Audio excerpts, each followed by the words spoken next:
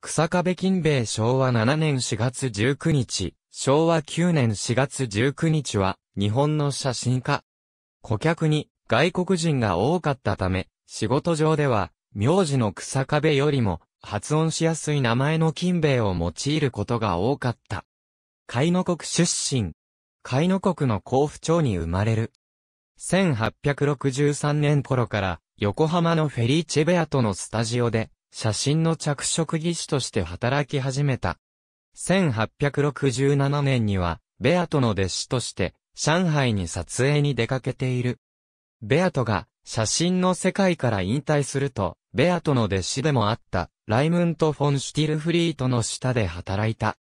1881年頃に独立し、横浜の弁天通りに、写真スタジオ、近平写真を開設、間もなく日の出町にも視点を出した。独立直後は写真賞と称していたが、数年後には写真家と改めている。本店は1890年頃に本町通り1丁目7番に移動した。さらに芝や銀座にも支店を開設した。1885年頃、ベアトとシティルフィールト、及び内田91が撮影したネガを引き継いだ。彼らの写真のうち、外国人の土産用の写真は、横浜写真と呼ばれ、金兵衛自身もセミノエド写真を売り、中には顔をコラージュしているものもある。また、長崎の上野彦馬のネガも、いくらか引き継いでいる。1891年の濃美地震の際に、小藤文次郎が論文に掲載したネオダニ断層の有名な写真は、草壁が撮影したという説がある。1904年のセントルイス万国博覧会に作品を出展、1906年に本店が火災で消失したが、直後に再建した。彼のアルバムのほとんどはアコーディオン方式で作成されており、螺鈿細工や蒔絵を表紙に施した豪華なもので、現在では金平アルバムなどとも称される。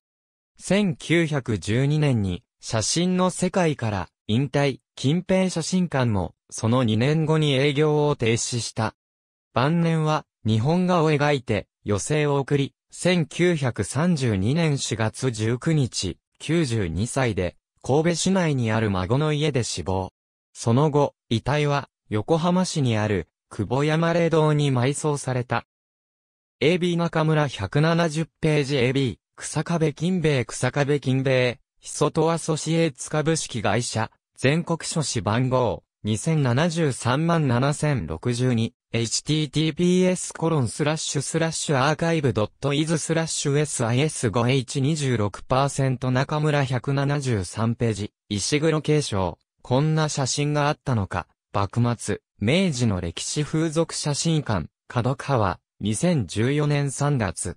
ISBN 9兆7840億4653万2978。